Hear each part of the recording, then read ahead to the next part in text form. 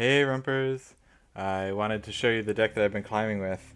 Uh, so this is my take on a skeleton deck. Um, and this deck is fun, and it has skeletons, so I call it Skelefun. Skelefun.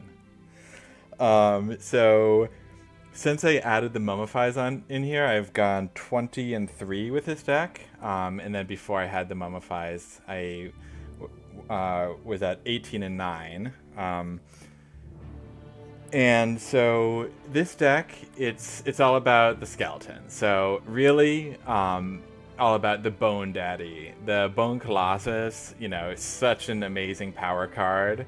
Um, it has a kind of triple use of it buffs your board, it's a big body, and it produces a bunch of tokens.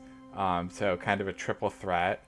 And um, I used to have only four of these in here, and now I have six of them because um, playing three Wake the Dead. So I at first I only had one Wake the Dead um, because I thought, oh, I don't know, is it going to hurt my tempo or whatever? But this card is so powerful. I underestimated how good Wake the Dead is.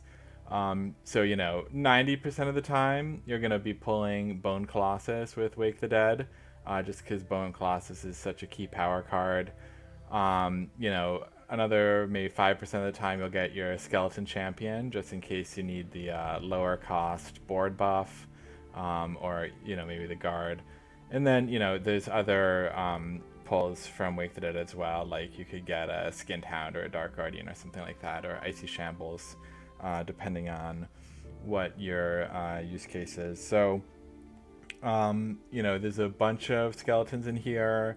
Skinned Hound, Wandering Skeleton, Dark Guardian, uh, Headless Zombie, Icy Shambles, Skeleton Champion, uh, Bone Colossus. And then Vastarie herself, she is not a skeleton, but she does fill your lane with skeletons.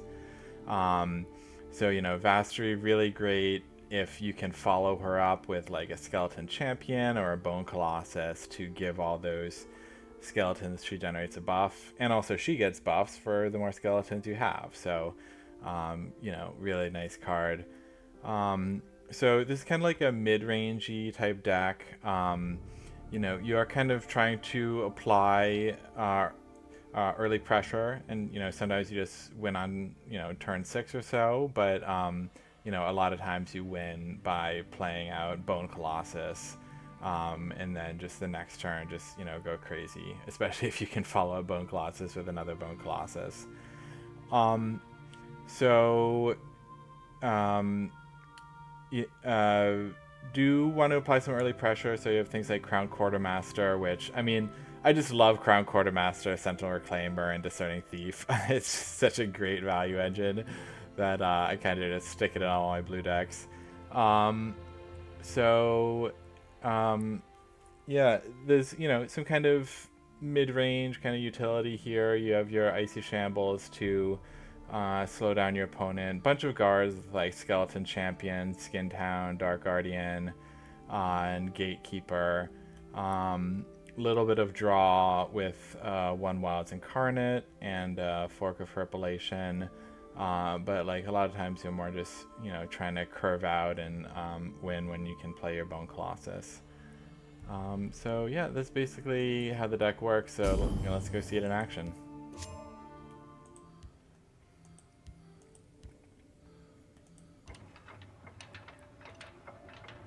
Yeah, so this is a deck that I used to climb into Legend uh, this season, and um, you know, it's a main deck I've been playing on ladder. I've been playing some other jankier stuff on ladder too. Um, otherwise, my rank might be a little bit higher, but um, yeah, this you know, really, really solid deck. Nice kind of mid-range game plan that's you know good against most decks. Um, there's not a lot of life gain. The only life gain is Barrow Stalker. So uh, you do want to watch that life total, but you have things like Dark Guardian and you know a bunch of other guards um, to watch your life. Okay, so against Telvanni, I don't want the Icy Shambles for sure. Um, I think I will keep the Skinned Hound and Wardcrafter. Skinned Hound to play on two, and then Wardcrafter. Um, you know, I always like to keep Wardcrafter as a utility card. I don't like to play Wardcrafter on 2.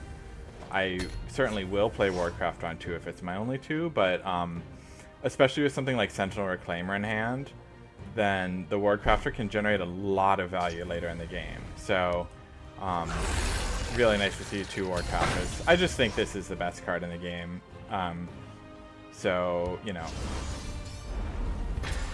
um, okay, so into this pointy wall, I might just use my Haunting Spirit into the pointy wall. I think that should be pretty good.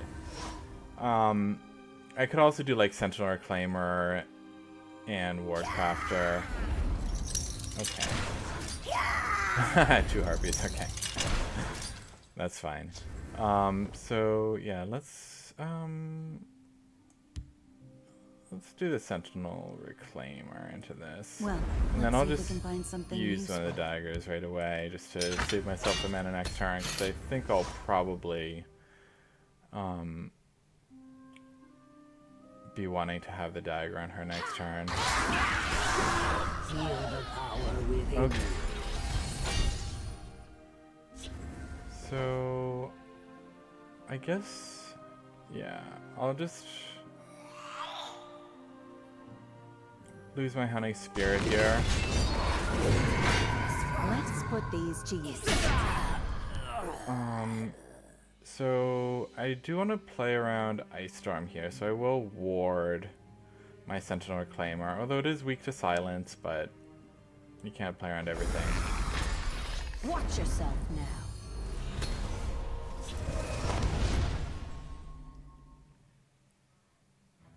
And then, um, yeah, next turn I'll, you know, probably play out the Steel Sword and a Reclaimer unless I need to use a Wardcrafter. Um, you know, Mummify has been so helpful. I added it because I was having trouble dealing with uh, Oblivion Gates, and I just hate losing to Invade.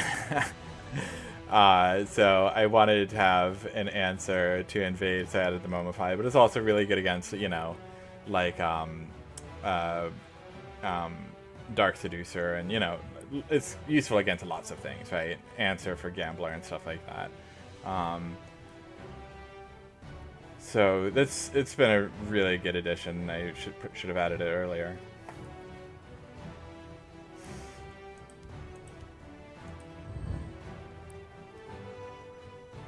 So opponents thinking for a long time. Hopefully that means that they don't have anything good. Um, if they don't, I can kind of you know, smash them uh, on my turn. And, um, yeah, Dark Guardian, I, I really like this card a lot. You know, the extra draw. Yep, they really don't have anything. Um, the extra draw that it provides can be really helpful. And just the 2-5 is just a really nice body for a guard.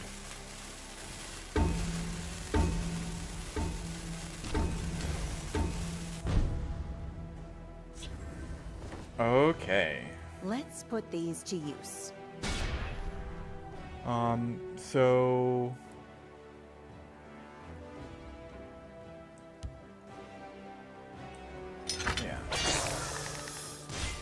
Your blood will spill! Careful friend. I keep a Should be, you know, pretty resilient board here. Um, you know, good against Ice Storm. Um, I do not fear. Good against most things. Okay, wow, they're really, really taking it slow, aren't they? Um, so I might have lethal here. Yeah, I do have lethal here. I could mummify this, but I'll just save it. If they do hit a prophecy, I'd rather um, Let's put these to use. Save that mummify for later. And yeah, okay, now I can uh, well, skip the last round. Um, okay, so yeah, opponent had a really bad game. So, um, you know, not the not the toughest match there. Uh, they drew really badly, but um, and we curved out really nicely.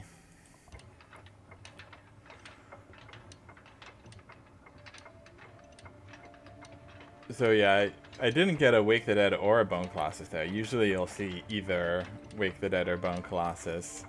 Um, and that's kind of, yeah, the that's the power card that usually pushes you over the edge, but um, yeah, sometimes you just don't need it. You, you can get a really quick start, you know, a lot of two drops. Um, not as many one drops as I usually like to play. I really like playing one drops. Um, and, you know, Crown Quartermaster is a favorite just because it goes so well with Discerning Thief. You know, the problem in general with one drops is that they don't provide value, right? A lot of two drops provide value and they give you some kind of draw. Um, or, you know, something like that. But one drops don't usually provide value, but Crown Quartermaster does, especially if you pair it with, you know, Discerning Thief or uh, Corner Club Gambler. And, you know, that dagger just gives you a lot of versatility. Okay, I think that um, this is probably going to be like a hand buff or rally type deck that we're playing against, um, but I don't totally remember. Uh, Wake the Dead, I don't need it this early on. Um, you know, like I said, usually you'll draw into either a Wake the Dead or a Bone Colossus. And it's really, you know, you want your Wake the Dead on turn 6, and um, the I Bone Colossus on turn 7, so you don't... living. Like, maybe against some decks you might want to keep Bone Colossus, like, say you're against What did you Telvanni and you um, already have like a nice uh, early curve in hand, Wrong place for a midnight stroll. then uh, you could potentially keep Bone Colossus, but um, usually you want to mulligan it and Wake the Dead. I'm trying to decide whether to play two cards here. I could play Quartermaster and Wardcrafter, um, or I could save my ring. Um, I think I'll just Careful put on the pressure. So, I keep a spare blade in my boot. um, you know, maybe I want to save the ring because you do want to be able to get out, you know, the Bone Colossus um, as quickly as you can, for example. Okay. So, I will have your head. Wrong place for a midnight stroll.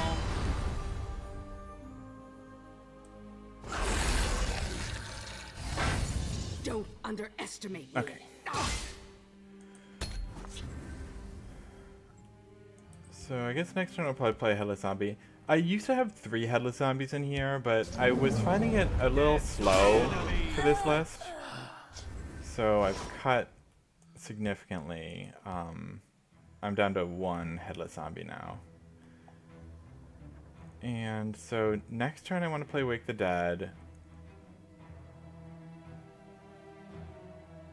Um, so this turn I'll play, I guess that Headless Zombie. I mean, pulling the Quartermaster is not, you know, Wrong the highest value midnight for that zombie. Okay.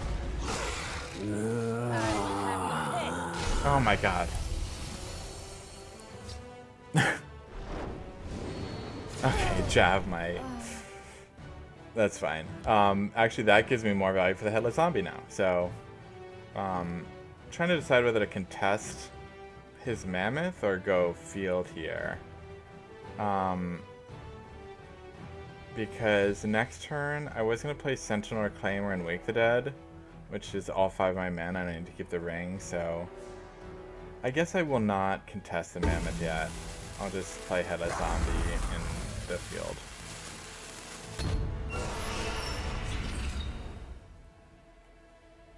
And then I can play Sentinel Reclaimer over You here next turn.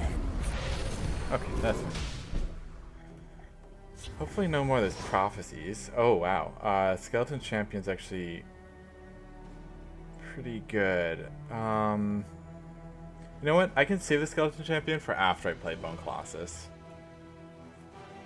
So I'm going to stick with the plan to play Sentinel Reclaimer and Wake the Dead this turn. Um, I think I just want to keep playing everything field. Well, let's see if we can find something useful.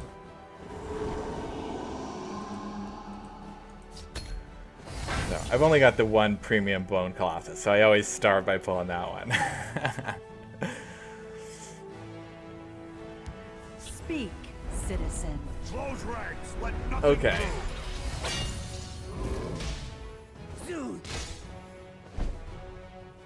Okay, let's go. So, I mean, they have a lot of pressure on, so, um, 13 damage next turn.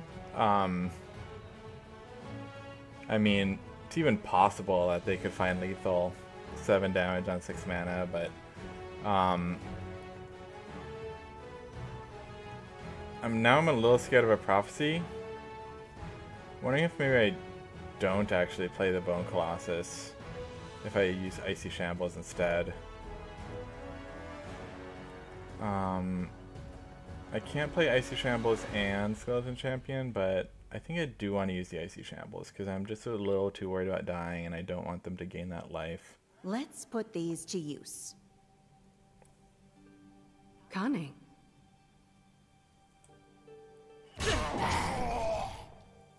Um, I mean, I don't have lethal, do I? Um, no, I'm one short, right?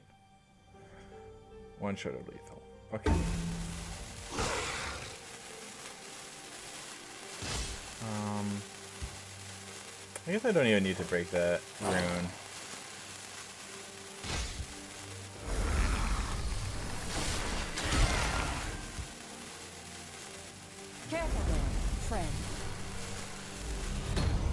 Okay, so I should have lethal pretty well set up for next turn. Okay, yeah, they're just giving it to me. Uh. This was a worthy contest. Okay. Um, so I think I'll leave it with that. Um, so that's how the deck works. I hope you enjoy it, and uh, let me know what you think. Catch you next time.